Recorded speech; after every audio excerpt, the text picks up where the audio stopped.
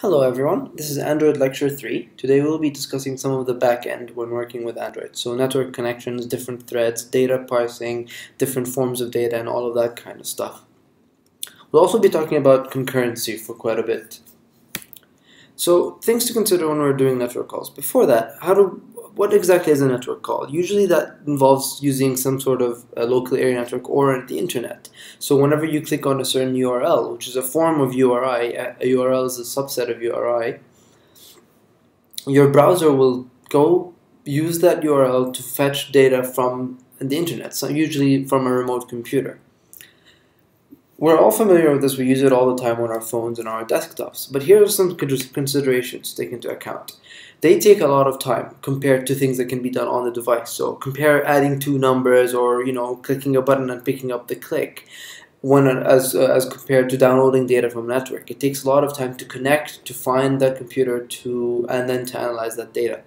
And also, they're unpredictable. They may never succeed. If you enter the elevator while you're in the middle of downloading something, the, the connection won't go through. Or sometimes the network won't even be there.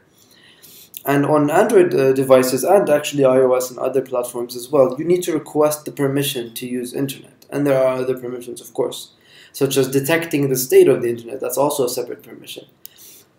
And also, one last thing to keep in mind is sometimes there's actual multiple steps. So with Facebook, whenever you open an app in the beginning, there's authentication that happens, and then you can start fetching data. Or with Twitter, you might have to do this on your bootcamp as well. You need to authenticate when the app launches and prevent the user from doing anything that could break the app while it's still authenticating. Once it's authenticated, that's when you want things to actually start coming through. So sometimes you have two different requests happening, or sometimes you can you would have been authenticated, but the user signed on another account, and so when you go request something, the server will come back saying, "Hey, you're no longer authenticated. Please authenticate." And you you need to be able to handle that across the entire app. Now, network calls take time, and it's unpredictable. If you guys remember, Android has only one UI thread. And that means if you do some networking logic on the UI thread, it'll block. It'll wait until the network comes back. You won't be able to refresh the UI. It'll, it'll, it'll freeze. The user won't be able to touch the screen. He won't be able to see things move. Um, the phone will just freeze because the UI thread can only be doing one thing at one point. And if it's doing your network call, it can't refresh the screen. So here's uh, uh, here's what Android does to prevent that. It actually throws a network on main thread exception if you try to do any kind of network calls on the main thread. So in conclusion, we need to make them run on a separate thread. We need to make them run somewhere else. We can't have them run on the UI thread because, well, one, Android won't let us. Two is we probably don't want to. It'll hug up our app. And uh, so we need to put them on another thread. But how does that really work? Because now we have more than one thread in our app. So multi-threading. Most, uh, for those of you who have not dealt with parallelism or concurrency before, most of your applications ran through in that one function called main. You started doing things, and by the time you finished doing things that were sequential in one straight processing line, it finishes at the end of main, and that's it. Now, in, in here and many other cases, you want things to happen simultaneously. You want the UI to continue to refresh while you're downloading things from the network. Now, keeping in mind, even though you only have one core on your machine sometimes, that one core can run multiple threads at the same time, kind of. That's the difference between um, concurrency and true concurrency, or sometimes they call it false concurrency and true concurrency. So a core can switch around between different threads very, very quickly on on Windows machines, uh, one number used to be at 10,000 times a second. It was switched between threads. So sometimes you have 100 something threads on your machine, but it looks like they're all running at the same time because the core just switches back and forth really quickly. So true concurrency is when you have multiple cores on that machine and two threads are actually running in parallel simultaneously executing instructions. Now for all intents and purposes it doesn't really matter which form of concurrency we're dealing with as long as you consider that things are happening in parallel and need to make sure that they run fine. So let's let, us let us look into some considerations. What should I separate? What should go on my UI thread? What shouldn't go on my UI thread? What should go on other threads in general? So what if I have some database access? What if I have some networking logic? I won't go into it in very much detail here, but different kinds of processing will require different kinds of um, will, uh, will will require to allocate different number of threads to them. For example, when you are decoding an image off the disk, or you're downloading something, um, sorry, or you're saving something to disk, or you're doing intense calculations or database access, all of these are very processor intensive um, functions. What else? But for example, if you're dealing with network, so if you're downloading something off the internet, there's not much processing or writing or calculations that's happening there as much as waiting for data to arrive. So those threads will yield a lot, as in they'll tell the operating system often, hey, I don't have anything else to do. And it goes off and another thread comes in. So you don't you want if you have many so one processor intensive thread is always the UI thread. It's always doing things. It's processing input. It's making sure that your you know clock is running fine. Um, all of all, all, most of the phone happens on the UI thread. So the UI thread is very very busy. And assuming your phone only has one core, you want that one core to be working on the UI thread most of the time. So it's fine to have your UI thread do most of the processor intensive work, and then you have a bunch of th threads on the side that yield a lot, so like networking threads. Now, more recently, phones will, will have two or more cores. I think starting Gingerbread phones starting have to have two or more cores, which means you could have two processor intensive threads and maybe get away with a third if it switches back and forth, and a lot of threads that yield. So a lot of one common thing is you have two to three threads doing networking, but only one thread saving to disk. So once all three networking threads are done, they'll throw their logic onto the processing thread, and that'll save things to disk. Same happens when you're decoding images off of disk. So what to separate is something that you should consider and test for. So just try it on a few phones and make sure it doesn't slow down your uh, your your app. And another thing to consider is communication mechanisms. So lots of times you launch a separate thread to do something, but you want it to communicate back to the initial thread or some other thread. So for example, you click a certain button, like refresh on Twitter. It goes, fetches tweets, downloads them, processes them, and displays them. But where do they get displayed? You can't display them off the background thread. You have to display them on the UI thread. So there is communication happening between those two threads. So, well, what about we'll get to synchronization in a second. What about failure? So what happens if you click refresh and you back out of the app? So you click refresh and you back out. So you are, the UI is gone. What happens to the other thread? If the other thread keeps going and then finishes, when it tries to communicate back to the UI thread and display its results, things are probably going to fail. Or maybe you will display results, and which is not what you want. If the user backed out of the app, you don't want to show him results anymore. He said he has he's declared that he's not interested. Another thing is synchronization, atomicity. So let's say, um, let's think of a quick example here. Let's say two threads want to work on the same data set. They're both trying to increment a certain number. So you have two different threads counting two parts of a database, and they'll all they'll both report, "Hey, I've counted this much," and you want to count the total sum. So what happens if each of these threads has a local copy of the variable? Let's say the variable initially starts off as zero, and each one has a hundred. So each thread has a value of 0. You get a 100, and you get a, each one counts to 100, and sorry, each one has their local variable. They have it as 0, they count 100, so each local variable is, is at 100 now. Now, then they can both report to the UI thread with 100 each, add them up, and then we're done. But however, what if the variable was shared? What if that one variable was not local to each thread, but was a global one that's shared all amongst them? So what happens is each thread will start counting.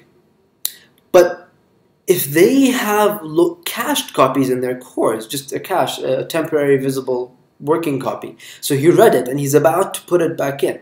So one thread goes like, okay, I found a new item. What is the value of the variable right now? And it says 25.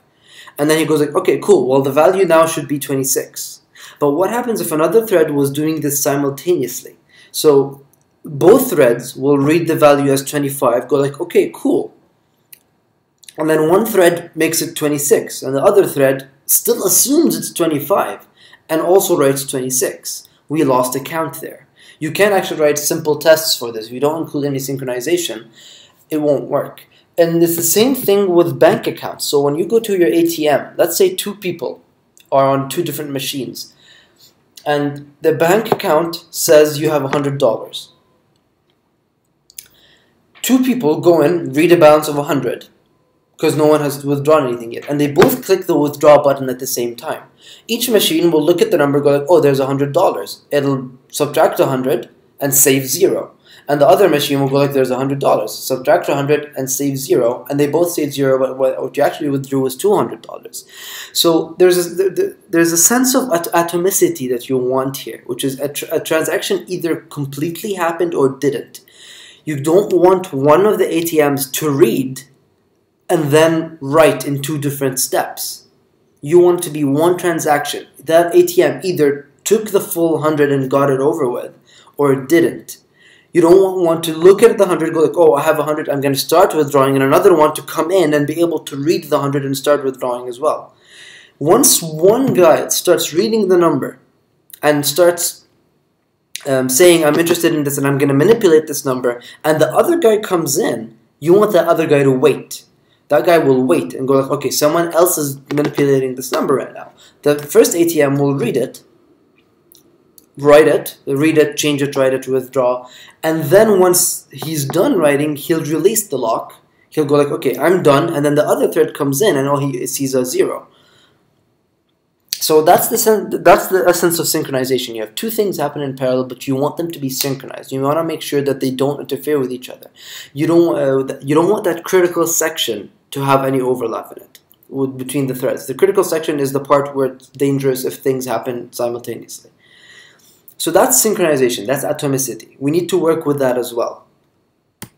So there's two ways, well, there's more than two ways, but we will go through two ways of achieving synchronization. One is using locks, as I mentioned, so mutex locks, as in every ATM account, for example, this is just an example, every bank account will have a certain lock with it. And every person, before they actually open up the account and start to change any numbers, will look at that lock, ask it, hey, lock, uh, we'll try to acquire that lock, saying, I am the one who's using this right now. If the lock is already acquired, they will just wait. They will just block, as that's what they're called. It's a blocking mechanism. They just wait. They're stuck at that until they acquire the lock. Now, if the lock is not used, they do acquire the lock and they go into the critical section and start doing things. At the end of, of their code, when they're done, they should release the lock and then the other person, if, if anyone else was waiting on the lock, they will enter. That's the most common form of locks. There are other kinds, so there's barriers and semaphores and other ones as well. Barriers are when you have many, many threads dealing with the same sort of data and you want them to be synchronized all together, not really in terms of uh, one critical section, only one guy can access this data, but you want all four threads to, for example, if they're looking at the game of life by conway you can look this up later on you have a big board and every, every step every step in the life of the board is determined by this the, the the current state of the board. Every block is dependent on the blocks around it. So you can split the board in four and have four separate threads go through and analyze it and prepare for the next stage. But you don't want any of the threads to start actually processing the next stage until they're all done together. Because then they'll be reading inappropriate, uh, in, like uh, wrong data. So you want to make sure all the threads finish that one step. Once they're done with that one step, they all update the board together and then move on. That's where you want uh, threads to be synchronized together. That's where you use barriers. Semaphores are things we use with resources. So for example, let's say on your CPU you have two units that can help you add numbers. Then you'll have a semaphore with a size of two.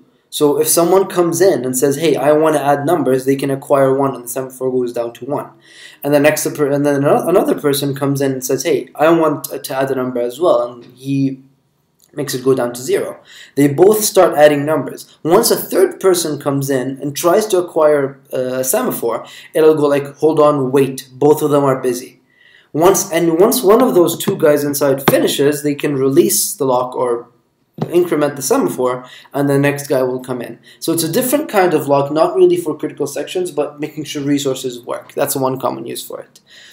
Now Java actually allows you to Java natively supports mutex locks by on, on any object. Any object you want, you can lock on it. So that actually gives a nice benefit, which means you can use the actual object itself that you're afraid of being manipulated as the lock, which is actually commonly used. And you can do that with a synchronized keyword. We'll look into this later on. Now there is another kind of synchronization without locks, in a way.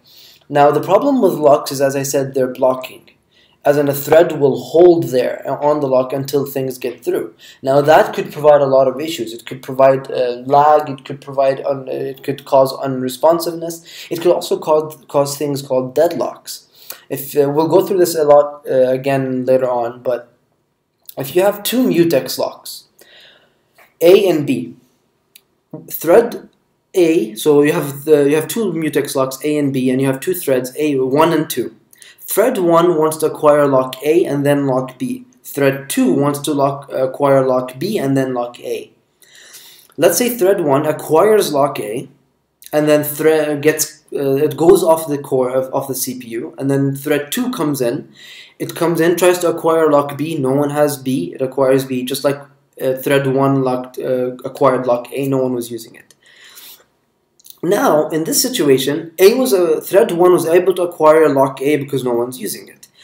Thread 2 was able to acquire lock B because no one's using it. But they can't move forward anymore because thread 1 is waiting on lock B.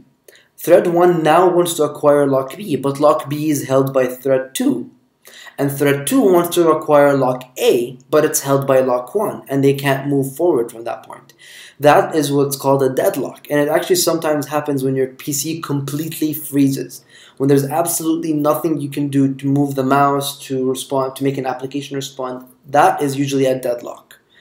So there's lots of synchronization issues. Now you can avoid that without you by not using locks. So another method is kind of using the Android looper. It's synchronization without locks. The basic idea is that all responses are recorded or dealt with on the same thread. So for example, what you can do is you can, for example, on your UI, you hit a button, you fire off a new thread to download the data. But once the download, once the data is downloaded, you need to make sure that the UI is still there. You don't you also want to make sure there's some synchronization there. You don't want to throw in the data on the UI while the UI is being destroyed. You either want the UI to completely destroy and then you detect that it's destroyed, or you want to detect that the UI has not been destroyed yet and then throw in the data. Now you can get around that by saying, hey, you know what, once you're done uh, downloading the data, just move on to move to the UI thread and on the UI thread you can check because the UI thread can only be doing one thing at one point which means that if you are currently on the UI thread processing the data, then that means that the activity is not being destroyed. Because it can't be in the middle of being destroyed as you do another thing on the UI thread. So the basic idea is that if you make all the results or all the processing happening on the same thread that you're afraid of locking with or having issues with, then you can make sure that there's no synchronization issues. Because then as i said the, the main issue with that is i don't want to throw in the data as it's being destroyed. But if the UI thread is it's the UI thread that does the destroying, and the UI thread can only be doing one thing at one point. So if I take my processing of the data and put that logic also on the UI thread, then what happens is as I'm processing the data, then the UI is either completely fine or has been completely destroyed. It cannot be in the middle of destroying because that would mean the UI thread is destroying right now, but when, when in fact the UI thread is actually processing the data. Uh, we'll go through this a little bit more in lecture, but that's another method of synchronization without locks, in a sense, where you do the same logic on the UI thread so that you don't have to deal with the UI thread doing something else at the same time. How does that work, though? Because a thread is usually just doing following a straight line sequence of instructions. Well, it's a little bit of a different mechanism here. It's used uh, in many different systems, but it's actually uh, it's it's the basis of the Android system. So what happens is there's an Android looper there's one thread, the main, the main thread, that keeps looping on a queue. It waits for things to run and runs things on the queue in, the, in their appropriate order, first in, first out, I believe. So what happens is UI thread, so when you click a button, and that and in that button you say I want to finish the activity and leave it. First thing that happens the moment you click the button, something goes on the UI thread uh, looper on the queue that says analyze this touch event. Eventually, it'll, it'll realize that this is a click and that will propagate down to the onClick method. In your onClick method, you say finish to finish the activity. Now that will actually won't finish the activity in line because if you remember, for an activity to get destroyed, it has to get paused, stopped, and then destroyed. So there's life, there's methods there, there's life cycles, and they can't happen in line. They can't happen right there. So what happens is when you call finish, it actually throws on logic on the queue to say, hey, next I want to be destroyed and put it on the queue. And that's how those methods is being destroyed or is destroying or is finishing on an activity. There's a method that tells you if it's being finished or not. It works on that basis. Is if is the is the finish is the on stop, on destroy, and on pause on the queue. I got those in the wrong order. On the queue, if they are, then I'm scheduled to be destroyed. And so that's the basic idea of the looper. And when you want to throw something back on the UI thread, you throw it on that looper. Now there is only you can have any thread on Android become a looper, but there's only one that is the main looper, which is the UI thread. We will also be using this when we're working with it. Now keep in mind async tasks, which are which is a, a nice convenience class provided by Android to help you move things off of the UI thread. They actually require a looper. You cannot execute an async task off of any thread that does not have a looper, usually the main thread.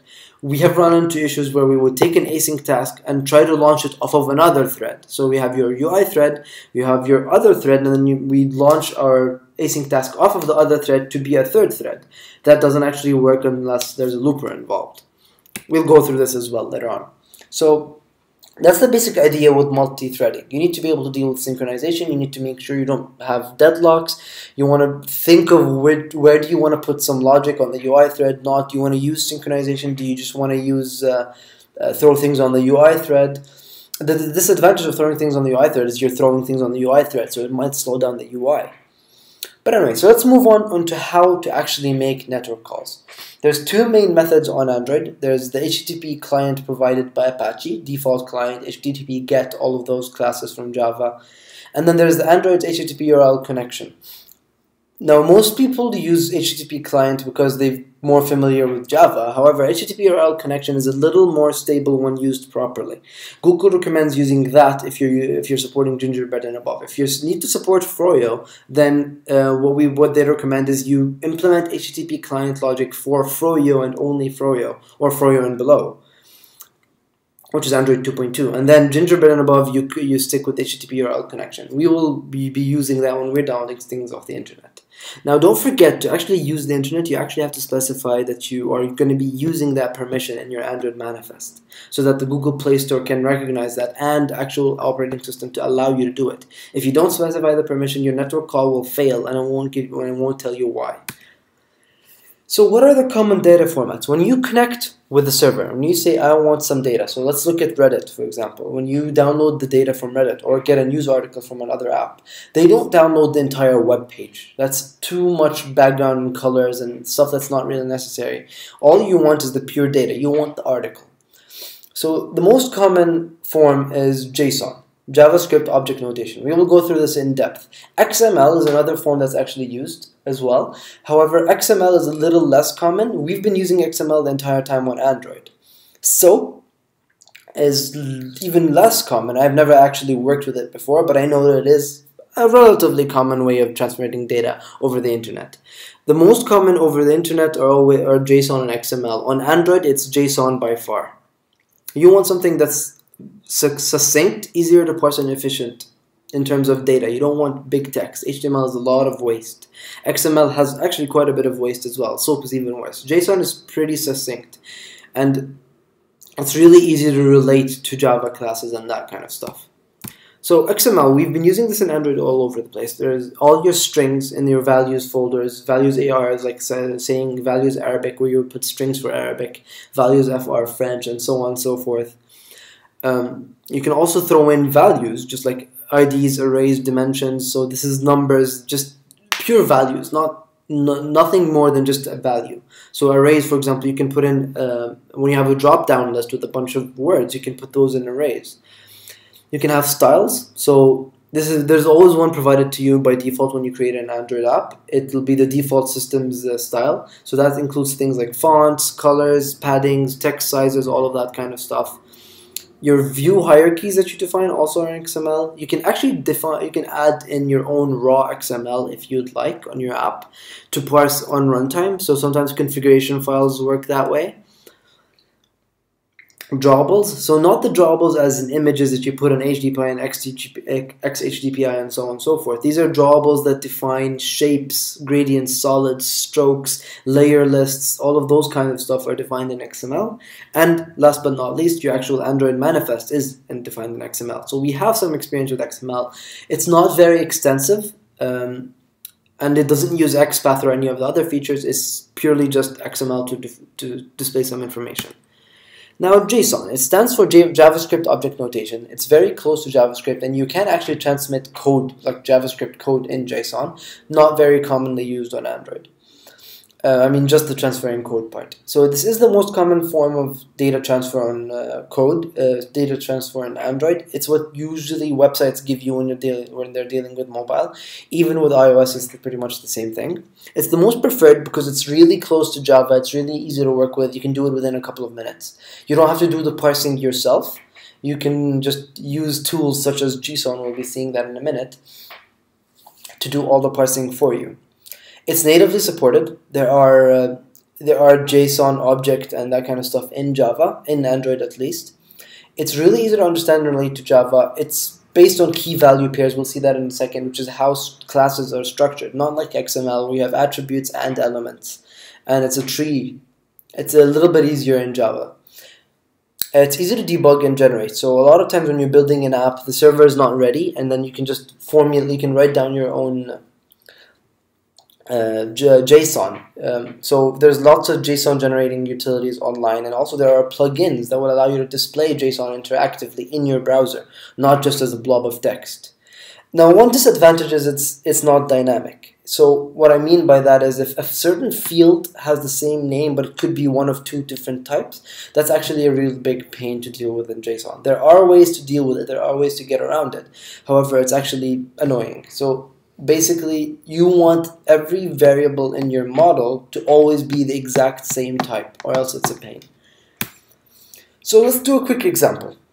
Key value pairs like a dictionary, as I said. The supported types are string, numbers, booleans, arrays, object, and null. So object and null kind of go together because you can have object, you can have null. So strings are like text. You can have numbers, you can have booleans, and then you can have arrays of strings, numbers, booleans, objects, or null or other arrays. So in your array, you can have any other JSON element you like.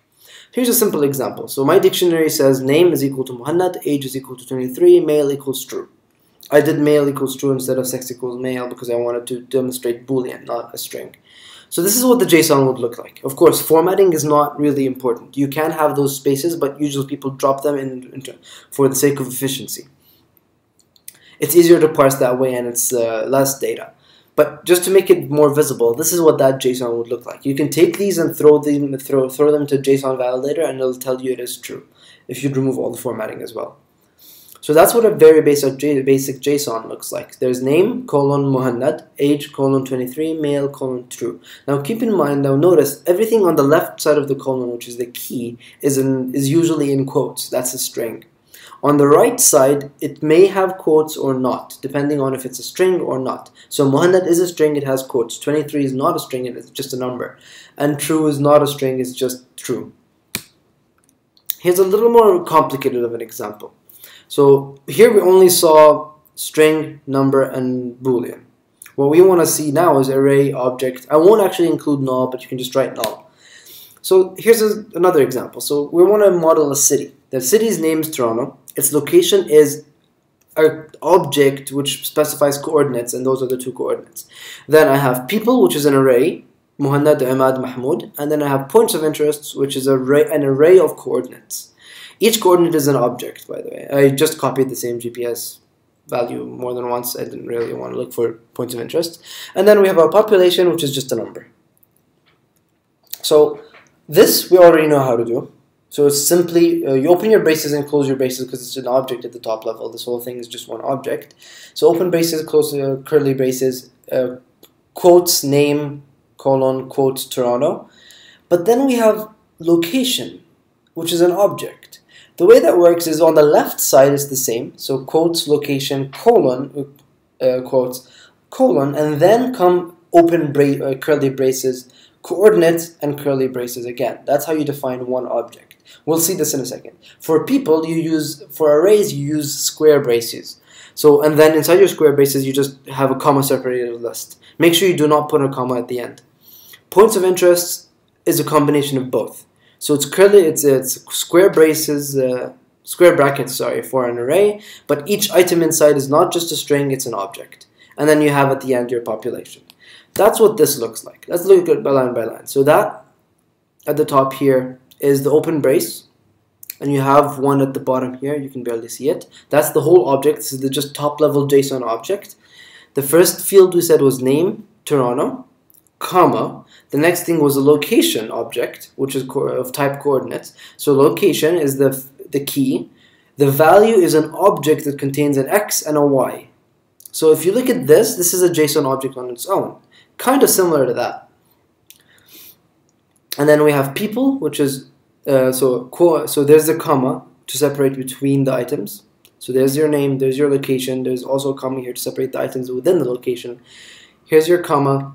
You have people, which is an array. So open uh, square brackets. You have three people inside, no comma at the end because this is the end of the array and then comma to move on to the next, which is points of interest. So here's what an a coordinates object looks like. Here's what an array looks like. Here's an here's what an array of coordinate objects looks like.